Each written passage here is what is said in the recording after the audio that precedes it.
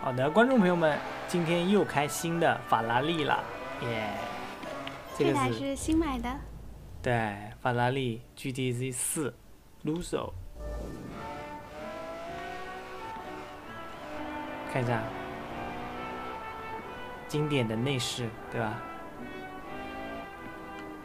它有点像那个啥，呃，哎呀，那个叫什么来着？那台车？它反正挺不像法拉利的。对，你就这种 是不太像啊。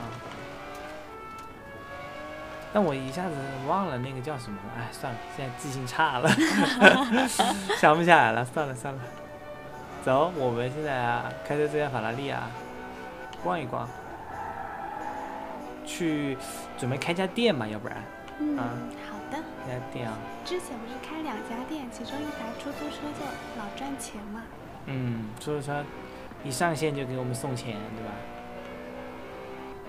就赚的还不够多，我感觉店应该把它开满。我们要投资的眼光，对，土豪又开始开店了，我们要开的多一点。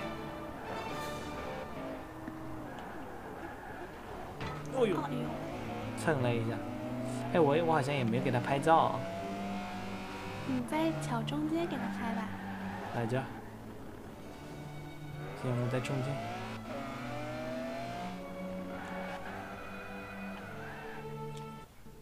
好，来一张啊！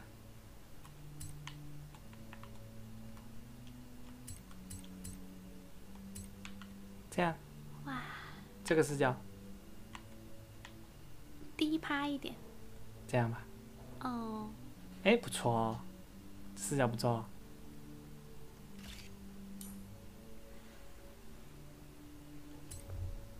又是一张壁纸级的相片。它这里每个出来都是壁纸，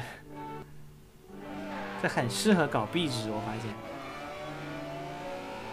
其实这个哦，里边车子啊这些个比，嗯包括这个内饰什么的，其实这些比 GTA 模组可真实多了。真实多了，对，好多了。就 GTA 如果有这些，就两个游戏应该结合起来的话，那就真的是就这游戏如果能下车，GTA 如果能逼真一点，对，能有这种直接的合二为一。品牌，对呀、我觉得取所有游戏精华大为一身的那那种游戏你让其他游，戏怎么做？要几百个 G，几百个 G 我也愿意载，你知道吧？硬盘塞爆了，显卡都要换的最那个什么的，我也愿意去搞啊，因为那种游戏是无敌的，就进了去就感觉自己好像活在现实，呃，不是，就就就不想活在现实世界了啊，那这也不行。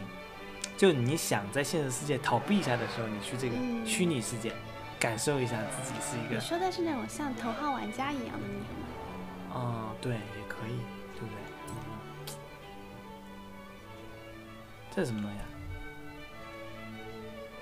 这特殊赛事哦，一个那什么，我们下一期再参加吧。这一期反正是这个这个再标一下，对吧？我往这个水里标一下会怎么样？哦，哎呦，哎，我记得这有个瀑布，对，是的。来，上不去。如果是标库这边就会有一个什么气垫船，对，是的，标库它载具多一些，就是就是边可以立刻除了地面上的，还对，飞机呀、船啊这些都有，对吧？嗯，嗯，是的，它这只有这个，它们区别，丝毫没有什么影响，我发现，啊，这个发动机进水都没事儿的。没事儿的，这个不会坏的。